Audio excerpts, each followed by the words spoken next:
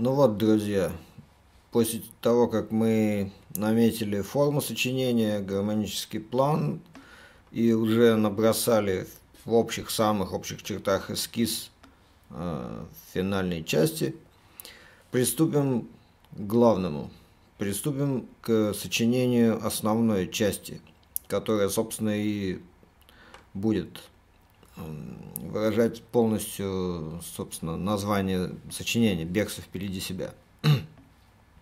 Итак, напоминаю, это у нас сочинение для скрипки и луп машины. Мы будем играть и записывать одновременно петли, которые будут накладываться друг на друга, и каждая петля э, будет длиться одну минуту. Все сочинение должно быть примерно 12 минут, состоящее из 12 петель. Из них 8 петель это у нас первая часть, и 4 петли это финальная часть. Ну, не часть, а разделы, допустим. Итак, у нас мы начинаем работать над главным основным разделом, который состоит из 8 петель по одной минуте. Ну, естественно, начало произведения – это, конечно, самое главное, поскольку именно в нем должно быть заложено основные смысловые моменты, основные зерна сочинения тематические. И, конечно, оно должно быть захватывающим, интересным, чтобы не дать публике скучать с первых же, с первых же секунд произведения.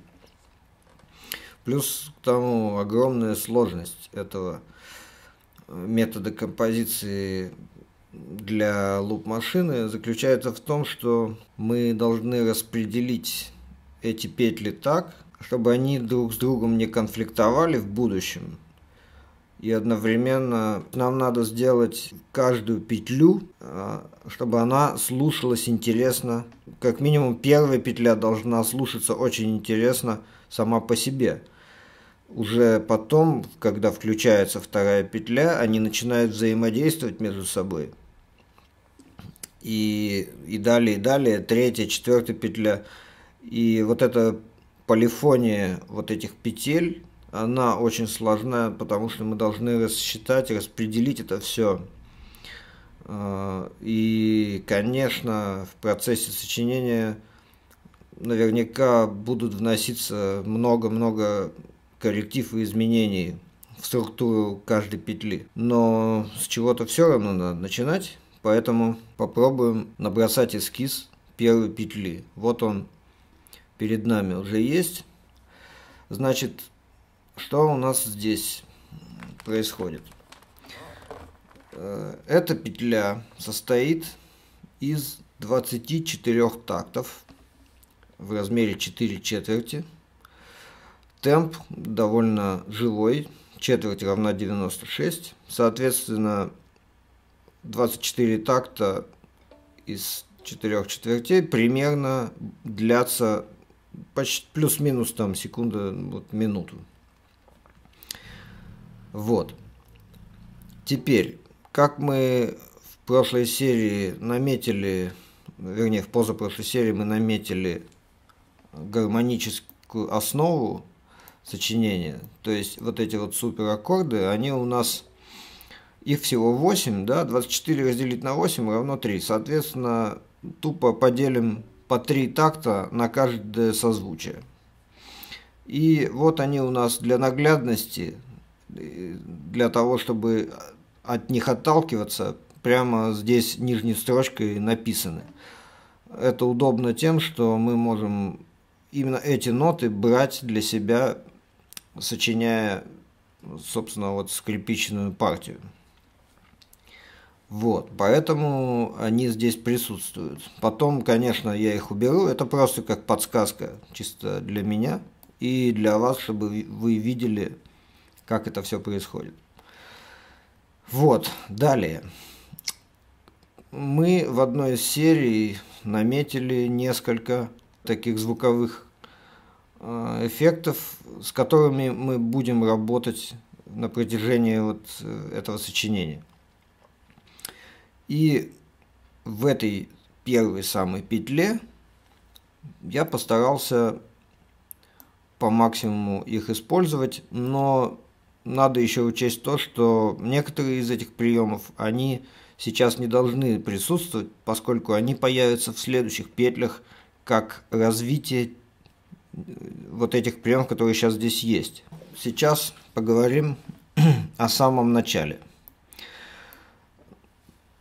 Я не исключаю, что начало будет совершенно другим, и вообще, как правило, начало сочинения, оно пишется всегда в конце.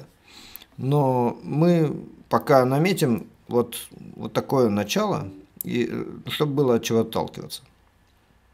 Ну, во-первых, оно сразу привлекает к себе внимание. Это вот этот резкий аккорд, который включает в себя э, как раз-таки э, тему, которая у нас есть.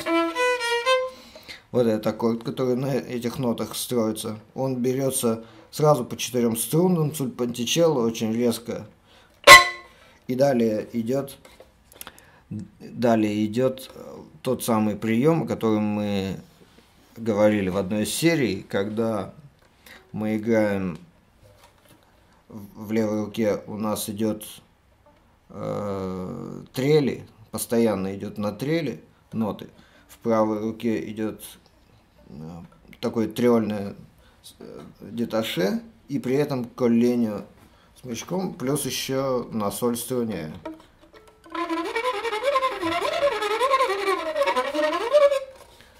Вот такой эффект.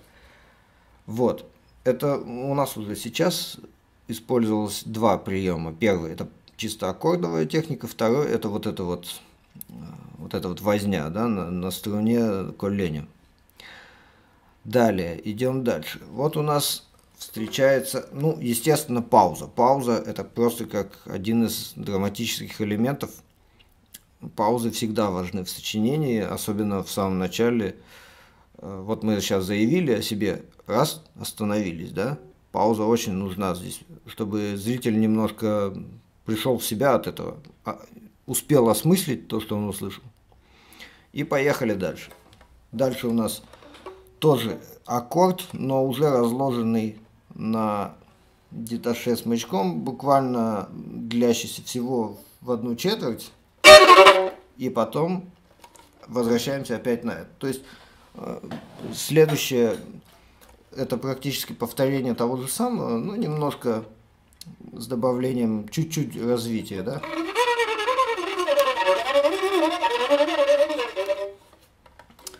Я сейчас играю, может быть, не совсем точно, что написано, потому что сейчас пока нет времени учить, я просто набросал и прям сходу пытаюсь это озвучить.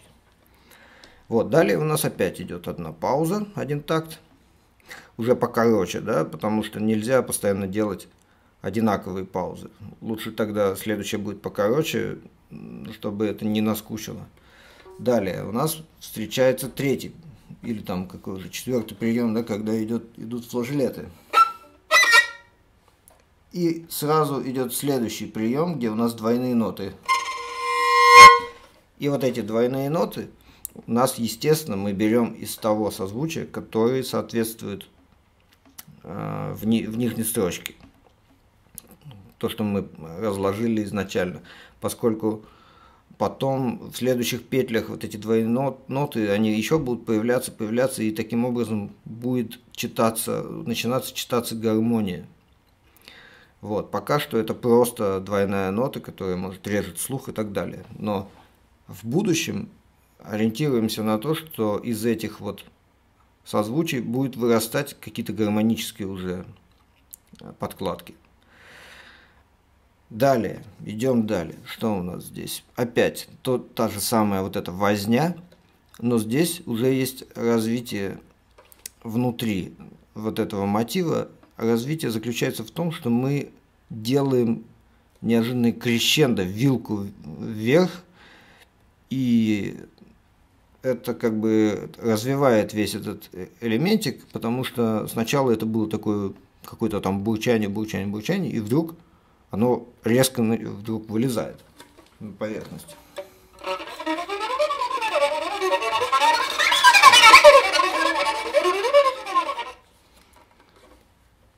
То есть это уже добавляет интереса. Напоминаю, что всегда надо держать публику в напряжении. Ничего не должно повторяться буквально. Надо обязательно добавлять какой-то новый элемент, новую краску. И тогда публика э, будет вся во внимании. Следующее. Опять мы повторяем э, наши, э, наши флажелеты. Кстати, надо обратить внимание, что вот эти флажелеты, и первый, и второй раз, они у нас идут четко по тематизму, да? Ми, си, ля диез. Потом идет двойная нота, ля диез, до. Это вот, собственно, наш мотив, который у нас был. И потом следующие флажелеты.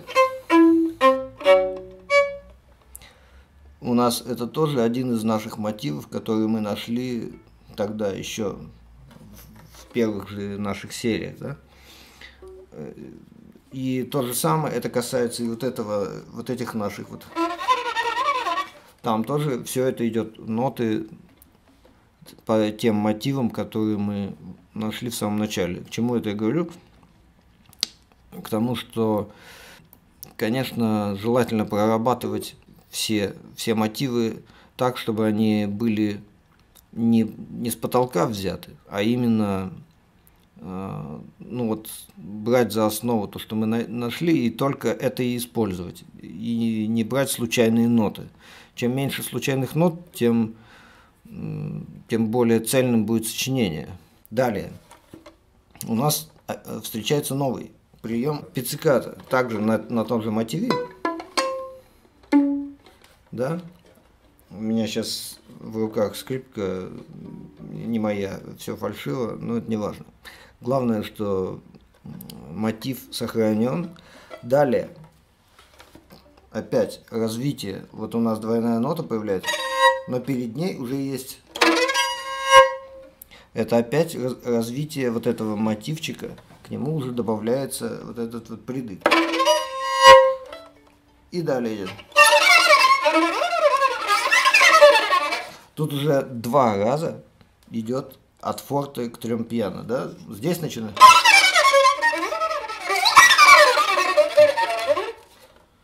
Вот. То есть все время, все время идет развитие. Далее у нас опять пиццикаты, которые просто более развернуты, да, вот эти реплики. И э, опять мы видим еще один маленький совершенно мотивчик здесь. Вот он. Это как бы самое начало, потом, наверное, где-то ближе к концу он будет развиваться и уже перейдет вот в такие оркестровые, вот, вот чисто в такой, такой вот скрипичный чес, да, о котором тоже мы говорили. Вот, соответственно, вся петля у нас построилась вот на этих вот нескольких приемах, э, которые, некоторые из этих приемов будут потом развиваться и переходить, может быть, синтезироваться, может быть, как-то объединяться с другими. В общем, мы посмотрим. И сейчас очень приблизительно для первого раза, пусть это будут с погрешностями, там не теми нотами, но не важно, главное наметить эту петлю, давайте попробуем ее сейчас изобразить, как она будет звучать на скрипке.